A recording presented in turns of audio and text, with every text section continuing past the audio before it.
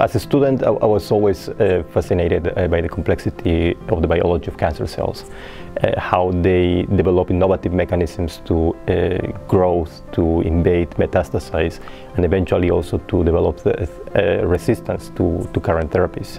And uh, I believe that the big, big challenge for, for the new scientists is to try to come up with as innovative or more innovative solutions for that problem.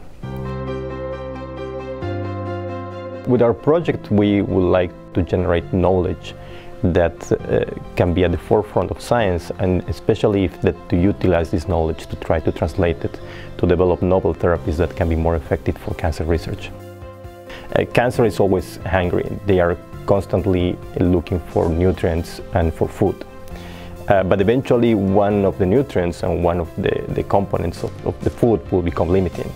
And if we are able to identify that limitation and that restriction, we probably can halt the, the, the, growth of the tumor. My group integrates different uh, techniques and approaches that uh, try to uncover those limitations. We have the hope that uh, by studying this aspect we can tackle specifically cancer cell metabolism.